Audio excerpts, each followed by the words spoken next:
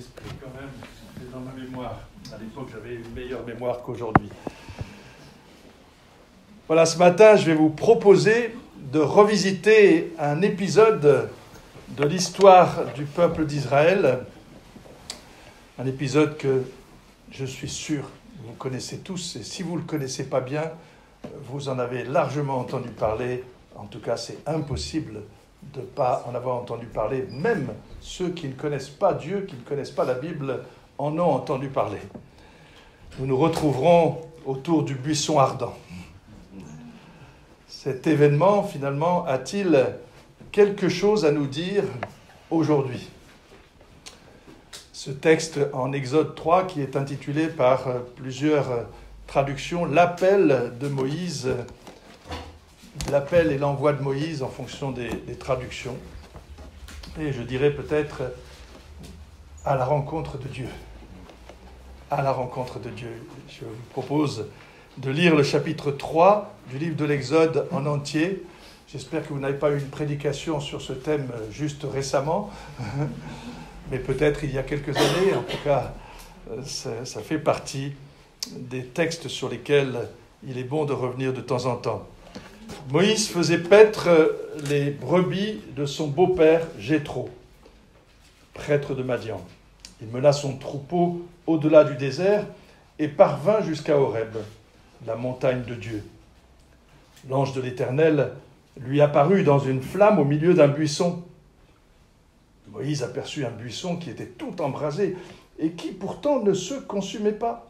Il se dit alors, je vais faire un détour pour aller regarder ce phénomène extraordinaire et voir pourquoi le buisson ne se consume pas.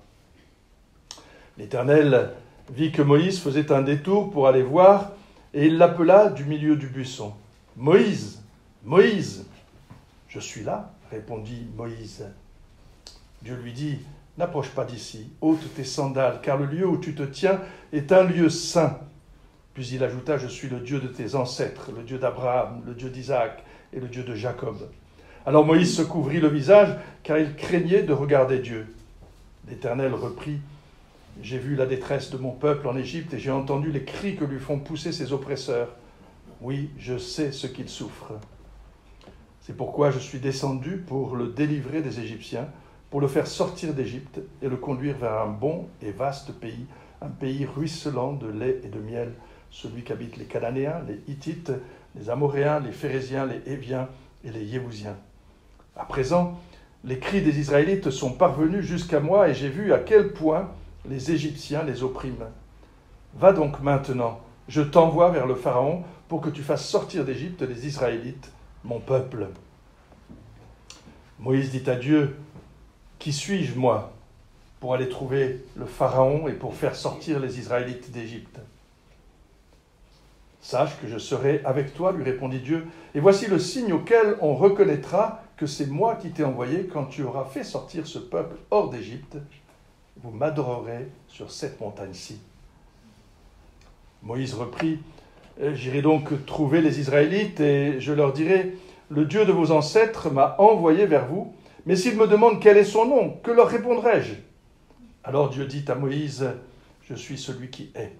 Puis il ajouta, Voici ce que tu diras aux Israélites. Je suis m'a envoyé vers vous. Puis tu leur diras, l'Éternel, le Dieu de vos ancêtres, le Dieu d'Abraham, le Dieu d'Isaac et de Jacob m'a envoyé vers vous. C'est là mon nom pour l'éternité. C'est sous ce nom que l'on se souviendra de moi pour tous les temps. Va donc, réunis les responsables d'Israël et dis-leur, l'Éternel, le Dieu de vos ancêtres, le Dieu d'Abraham, d'Isaac et de Jacob, m'est apparu et m'a dit, j'ai résolu d'intervenir en votre faveur au regard du traitement qu'on vous inflige en Égypte. Aussi ai-je décidé de vous faire sortir d'Égypte, où vous êtes en proie à l'oppression, pour vous conduire dans le pays des Cananéens, des Hittites, des Amoréens, des, Phérésiens, des Héviens, des Yébousiens, dans un pays ruisselant de lait et de miel. Les responsables d'Israël t'écouteront et tu iras trouver le Pharaon avec eux pour, pour lui dire L'Éternel, le Dieu des Hébreux, est venu nous trouver. Maintenant, veuille donc nous accorder la permission de faire trois journées de marche dans le désert pour aller offrir un sacrifice à l'Éternel notre Dieu. Moi, je sais que le Pharaon ne vous permettra pas de partir s'il n'y est pas contraint avec puissance. C'est pourquoi j'interviendrai et je frapperai l'Égypte de toutes sortes de prodiges que j'accomplirai au milieu d'elle. Après cela, il vous renverra. Je ferai gagner à ce peuple la faveur des Égyptiens, de sorte qu'à votre départ, vous ne vous en irez pas les mains vides. Chaque femme demandera à sa voisine et à celle qui habite chez elle des ustensiles d'argent et d'or, ainsi que des vêtements. Vous les donnerez à porter à vos fils et vos filles, ainsi vous dépouillerez les Égyptiens. Après 400 ans de silence, tout du moins dans le récit biblique, dont 80 ans d'esclavage, Dieu parle à un homme. Dieu parle à Moïse depuis ce buisson, pour prendre d'autres traductions, flamboyant. Il lui parle en tête à tête. On pourrait se poser la question, pourquoi maintenant et pourquoi lui? Un peu le même genre de question que l'on se poserait pour Saul de Tarse, hein, devenu Paul l'apôtre des païens. Moïse, à ce moment-là, à la tête de troupeaux de brebis, pendant 40 ans, à la tête de ces troupeaux, ressemblait-il vraiment à l'homme de la situation? Et si oui, Dieu n'aurait-il pas mieux fait de l'appeler plus tôt? Il a quand même 80 ans. Ce dont Dieu a besoin, quand on connaît le récit, c'est plutôt d'un général 4 étoiles, dans la pleine force de l'âge. Dans le monde de l'entreprise, on paye des chasseurs de tête pour trouver la perle rare pour tel ou tel poste. Et souvent, on cherche même à débaucher le meilleur profil chez la concurrence en fonction de ses réussites. Dieu serait-il un piètre recruteur? Il est clair qu'il n'a pas suivi de formation de DRH au XXIe siècle. Survolons rapidement le CV de Moïse. Moïse, hébreu, adopté et naturalisé égyptien, solide formation à la cour la plus puissante de son temps, instruit dans toute la science des Égyptiens, de l'expérience hein, à son palmarès des campagnes victorieuses à la tête des armées égyptiennes contre la Nubie, selon la tradition juive, et une expérience politique certainement solide. Et à l'âge de 40 ans, meurtrier, et fuyard honteux. Euh, oups, ça on devrait peut-être pas le mettre dans le, dans le CV. Hein. Et puis ensuite, euh, berger, 40 ans d'expérience dans le désert de Sine. Et enfin, au bout de 40 ans, plus aucune ambition. Ça, on n'aurait peut-être pas dû le mettre non plus dans le CV. Marié, deux enfants, 80 ans. Quels sont ses hobbies et ses loisirs? Ah, dans ma jeunesse et jusqu'à l'âge de 40 ans tout ce qui convient à la haute société. Golf, tennis, équitation, ski, pilotage d'hélicoptères, d'avions, soirées mondaines, réception d'État, voyages diplomatiques, inauguration, collectionneur d'art, etc., etc. Et pour les 40 dernières années, discussions à la fraîche. Le soir, sous la tente, pas de TV, pas de ciné ou de Netflix, pas d'Internet, pas de voyage, pas besoin de sport, déjà bien actif dans les marches quotidiennes avec ses troupeaux. Qui aurait embauché un type avec un tel CV pour libérer et diriger, et diriger un peuple? Un homme socialement déchu et probablement ayant perdu tout le bénéfice de sa formation initiale. En fait, il n'est plus dans le coup. Quatre décennies sans expérience professionnelle liée à sa formation de haut niveau. Avec le recul de l'histoire, il est aisé de constater que c'est bien Dieu qui l'a préparé lui-même, et certainement bien plus efficacement que lui, Moïse, n'aurait pu imaginer et construire sa carrière. Dès sa naissance, alors que Dieu l'a fait échapper à l'assassinat de tout nouveau-né hébreu du sexe masculin, on s'en souvient, assassinat décrété par le Pharaon, Quelle ironie de l'histoire. Moïse sauvé par la propre fille du dit Pharaon. Qui plus est, je cite là un commentateur, les Égyptiens pourvurent à la formation théologique, astronomique, en médecine, en mathématiques, etc., de celui que Dieu allait utiliser plus tard pour les priver de leur main-d'œuvre gratuite. Petite remarque, toujours ironie de l'histoire, avec Joseph et Moïse, deux Hébreux au palais de Pharaon, à quelques siècles d'écart, pour délivrer une famille de la famine la première fois, et ensuite délivrer de l'esclavage cette même famille devenue un peuple. Dieu agit au-delà de tout ce que l'on peut imaginer. C'est clair. Et tout au long de l'histoire, il utilise qui il veut. Il utilise qui il veut. Et j'ose dire, parce que c'est la Bible qui l'affirme, comme il veut. Ça peut être dérangeant. Dieu utilise qui il veut, comme il veut, même ses pires ennemis pour accomplir son plan de salut pour l'humanité. La Bible en témoigne largement. Juste rapidement deux cette mémoire. Cyrus, hein, l'histoire de Cyrus. Et puis un faux disciple. Et les chefs religieux pour condamner Jésus et ainsi provoquer malgré eux la plus grande victoire que connaisse l'humanité. La croix et la résurrection, le salut du peuple de Dieu. Dieu, chers amis, n'est pas impressionné par notre CV. Il n'est pas impressionné par notre formation. Il n'est pas impressionné par ce que nous avons fait. C'est lui qui appelle, qui prépare, qui forme, qui façonne. C'est bien ce qu'il a fait avec Moïse. Lui qui s'est peut-être cru, Moïse qui s'est peut-être cru capable d'apporter son soutien au peuple d'Israël par ses propres forces. Eh bien, Dieu l'envoie dans le désert pour 40 ans, avec ses brebis. D'ailleurs, même pas les siennes. L'objectif de Dieu, le préparer à cette rencontre avec lui, pour le servir et devenir celui qui conduira son peuple. Un autre troupeau, bien plus difficile à conduire que les brebis. Les Hébreux n'étaient pas doux comme des agneaux, l'histoire nous montre. Pendant ces 40 années, Moïse n'avait aucune idée de ce que Dieu voulait faire avec lui, ni même que Dieu voulait faire quelque chose avec lui.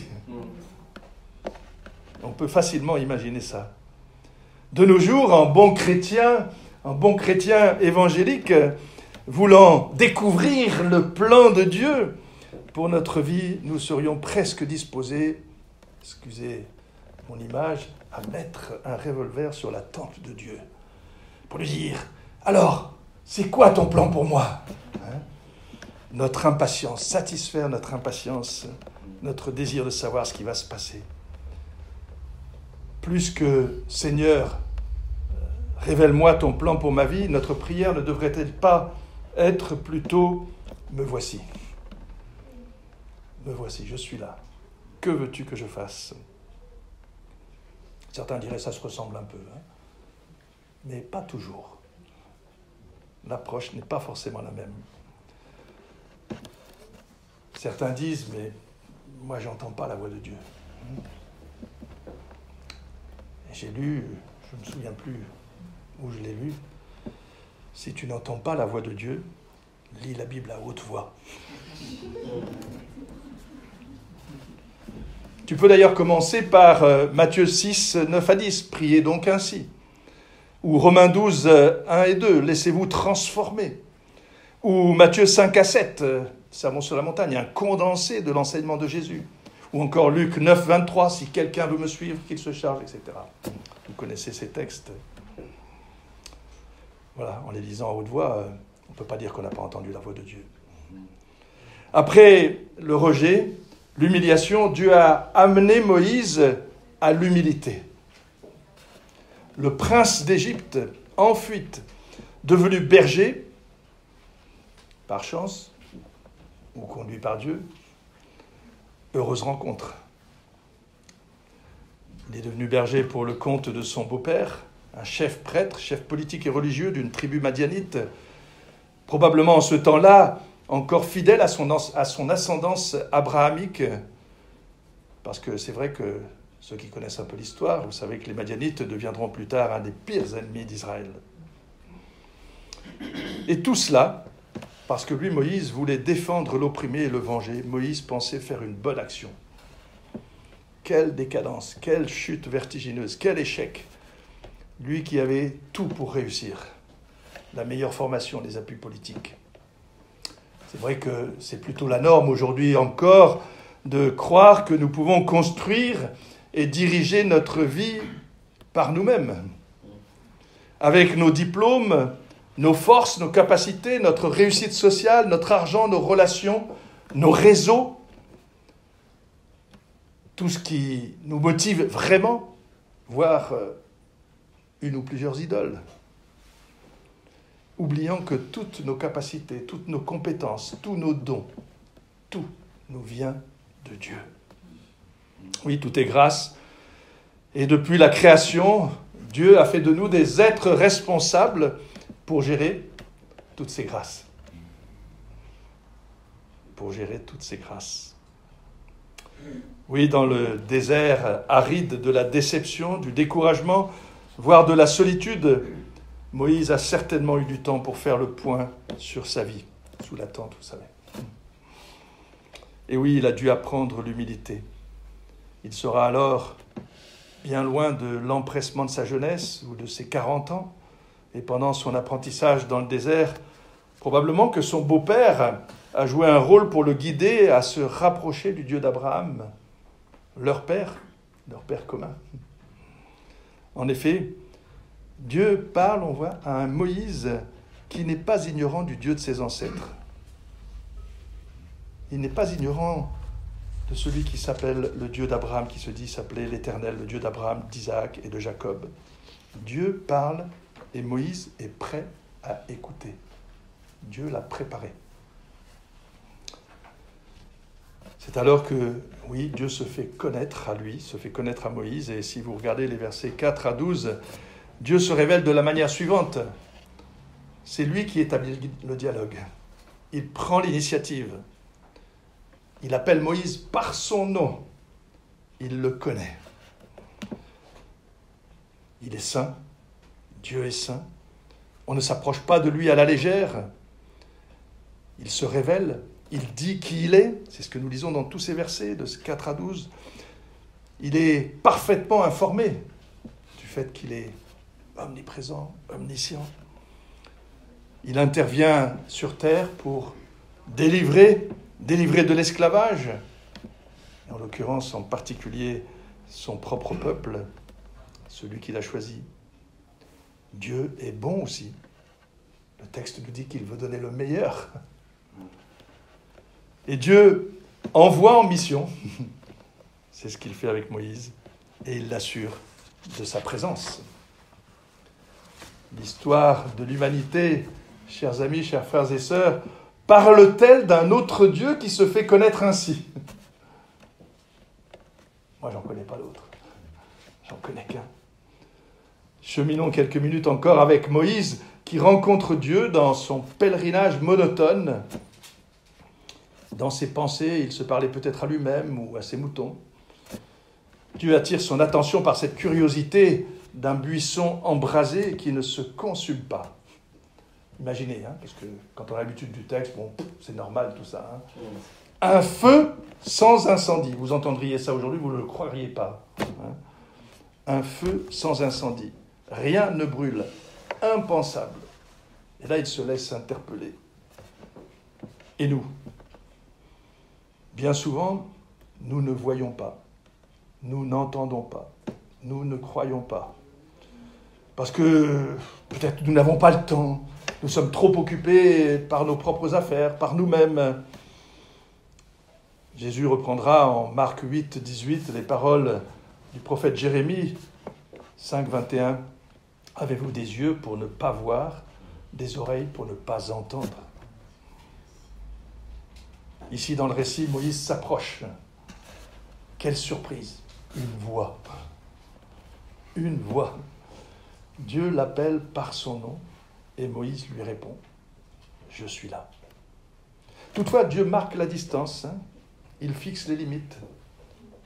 Le lieu où tu te tiens est un lieu saint. Le chapitre 19 du livre de l'Exode nous en dira beaucoup plus sur cette question de la sainteté de Dieu et qu'on ne s'approche pas de lui n'importe comment. Ce Dieu proche et transcendant en même temps. Proche, vraiment proche, et transcendant. Surréaliste. Inimaginable. Hein. et même extraordinaire, on pourrait dire. On pourrait en utiliser des superlatifs. Dieu se fait entendre dans un scénario étonnant. On se croirait à Hollywood, qui d'ailleurs a su exploiter le filon. Plus tard, bien sûr. Dieu voulait interpeller Moïse dans son milieu. C'est la manière qu'il a choisie. C'est ainsi qu'il l'a voulu. Qu'aurions-nous à dire, nous, des décisions du Dieu créateur, du Dieu tout-puissant, du Dieu souverain qui tient toutes choses dans ses mains? Quand Dieu se manifeste, chers amis, aucun hasard. Dieu voulait parler avec Moïse en tête à tête, cœur à cœur, et c'est ainsi qu'il a choisi de le rencontrer en direct. Le Seigneur Dieu a voulu et a organisé aussi pour nous notre rencontre avec lui. Si ce n'est pas déjà le cas, il veut cette rencontre avec, avec chacun, avec toi aujourd'hui. Pour Moïse, c'était avec ce buisson flamboyant. Pour nous, le rendez-vous, il se trouve au pied de la croix, à la croix de Christ. Certains ont imaginé le buisson représentant le peuple d'Israël. En 1984, un fameux prédicateur de l'époque, Jacques Blocher, le père d'Henri Blocher, que vous connaissez bien sûr, hein, suggérait que le buisson représente Moïse avec sa sécheresse et toutes ses épines. Un buisson tellement sec dans le désert qu'il est uniquement destiné à brûler un jour. À quoi pourrait-il servir d'autre? Une simple étincelle le consumerait en quelques instants, aucun doute. Et là, j'ai fini la citation, et pourtant, le feu ne consume pas ce buisson insignifiant, ce buisson sec et qu'on pourrait qualifier d'inutile. Rappelons-nous que dans la Bible, le feu représente tout autant la lumière que la purification et le jugement. malgré notre nature pécheresse qui nous éloigne si souvent du Créateur, le feu du jugement ne consume pas celui que Dieu appelle et qui lui répond, Me voici, celui qui ne se dérobe pas devant Dieu.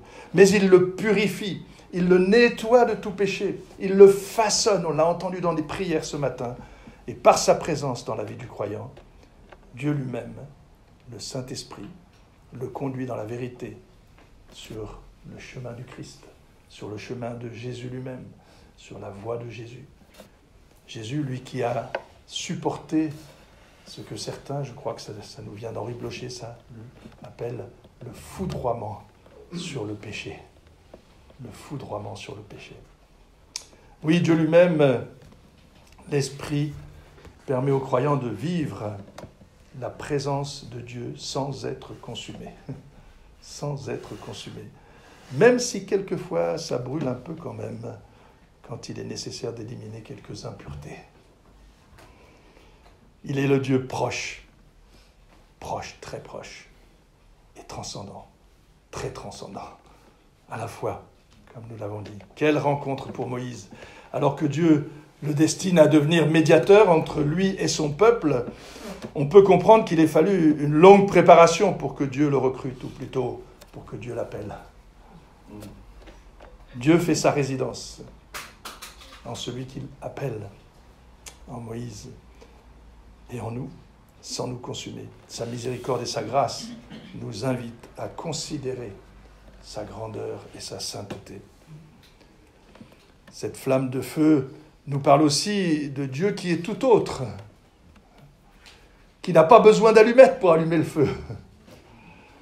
Il est par lui-même. Et ceci est corroboré par la réponse qu'il donne à Moïse à la question S'il me demande quel est son nom, que leur répondrai-je? Je suis. Ou je suis celui qui suis. Ou je suis celui qui est. Ou je suis celui qui sera. Celui qui existe par lui-même, rien avant, rien après, indépendamment de tout, besoin de personne. Le même hier, aujourd'hui, éternellement. En fait, la stabilité parfaite, la fiabilité parfaite. Le Dieu qui s'est révélé à vos ancêtres, dit-il à Moïse, le Dieu d'Abraham, d'Isaac et de Jacob qui a fait des promesses et qui les tiendra, parce qu'il ne change pas. Il ne change pas, il tiendra ses promesses. Dieu n'est pas un candidat à une quelconque investiture, faisant des promesses en vue de son élection et pensant que les promesses n'engagent que ceux qui les écoutent. Petite phrase due à un politicien du début du XXe siècle, première moitié. Ou mieux, il est injuste et absurde de rendre les êtres comptables de leurs promesses, disait André Mauroy. Avec Dieu, il en est tout autrement. Tout autrement. Chers amis, parce qu'il est je suis, parce qu'il est je serai, les promesses de l'Éternel sont plus solides, plus stables, plus sûres, plus pérennes qu'un rocher, même si cette image forte est utilisée dans la Bible pour parler de lui, mais plus encore, à tel point qu'il enverra le médiateur parfait pour tous les hommes, tous les peuples, le Fils de Dieu, l'homme Jésus. Ce Jésus qui reprendra à son compte Je suis dans l'évangile de Jean, chapitre 8 en particulier, si vous ne croyez pas que moi je suis, vous mourrez dans vos péchés. Vous comprendrez que moi je suis. Vraiment, je vous l'assure, leur répondit Jésus, avant qu'Abraham soit venu à l'existence, moi je suis. Qu'il déclinera ainsi, je suis le pain de vie, la lumière du monde, la porte, je suis le bon berger, je suis la résurrection et la vie, je suis le chemin, la vérité et la vie, je suis le cep de vigne. Jésus, la parole devenue homme. Jésus, franchement, c'était pas n'importe qui. C'est clair, hein, chers amis. Nous le savons bien. Avant d'être arrêté et condamné et crucifié, Jésus, dans une longue prière, dira Père, en effet, il parlait à la troisième personne, il parlait de lui-même, en effet, tu lui as donné autorité sur l'humanité entière afin qu'il donne la vie éternelle à tous ceux que tu lui as donnés. Or, la vie éternelle consiste à te connaître, toi le Dieu unique et véritable, et celui que tu as envoyé, Jésus-Christ. Vous avez reconnu ces passages de la prière sacerdotale en Jean 17. Revenons au début de notre récit. Souvenez-vous, au début, au premier verset du chapitre 3. Donc il est dit que Moïse alla au-delà du désert, au fond du désert. Qu'est-ce qu'on trouve normalement après le désert Tout d'un coup, des sources d'eau, hein, des oasis. Et ici, à la sortie du désert, qu'est-ce que Dieu promet? La montagne de l'Éternel. Regardez au verset 12, nous l'avons lu tout à l'heure, Sache que je serai avec toi, lui répondit Jésus, Dieu, et voici le signe auquel on reconnaîtra que c'est moi qui t'ai envoyé le signe auquel on reconnaîtra que c'est moi qui t'ai envoyé. Hein. Quand tu auras fait sortir le peuple hors d'Égypte, donc le signe viendra après. Hein. Souvent, nous, on veut, les, signes avant. Hein. Vous avez noté ça dans ce texte C'est frappant. Le signe, ce sera après. c'est pas avant pour être sûr que tu prends le bon chemin. Quand tu auras fait sortir ce peuple hors d'Égypte, vous m'adorerez sur cette montagne-ci deux choses, hein. une promesse, une promesse forte, hein. mais on remarque aussi que le signe n'est pas seulement pour Moïse, hein. il est pour le peuple. Il dit, vous m'adorerez sur cette montagne-ci. Pour le peuple, c'est une question importante. La foi, la confiance en Dieu qui délivre de l'esclavage conduit le peuple à une sainte et saine relation avec l'Éternel relation qui se vit dans l'adoration. C'est ici que vous m'adorez sur cette montagne. Une relation qui reconnaît la grandeur de Dieu, sa toute-puissance, sa bonté, sa bienveillance, sa générosité, son amour tellement autre et d'une manière toute particulière pour les élus, pour son peuple. Chers amis, rencontrer Dieu, le connaître, finalement, ne serait-ce pas la plus profonde aspiration de l'homme?